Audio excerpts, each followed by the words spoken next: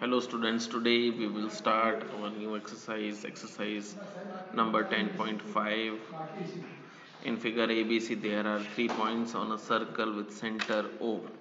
Such that boc which is equals to 30 degree and aob which is equals to 60 if d is a point on a circle other than the arc abc find the angle adc it is a figure drawn where angle this is angle 60 this is angle 30 and we have to find the angle ADC we know that AOB is 60 given and BOC which is 30 degree.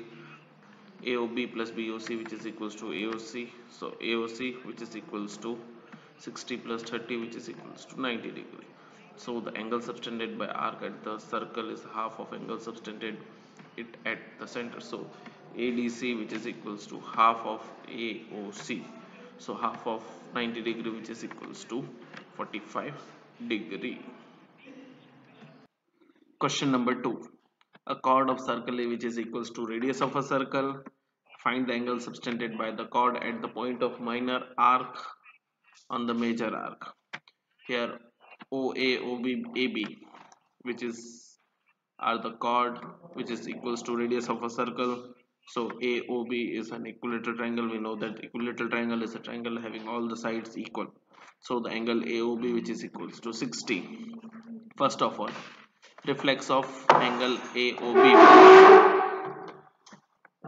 reflex which is equals to 360 minus 60 which is equals to 300.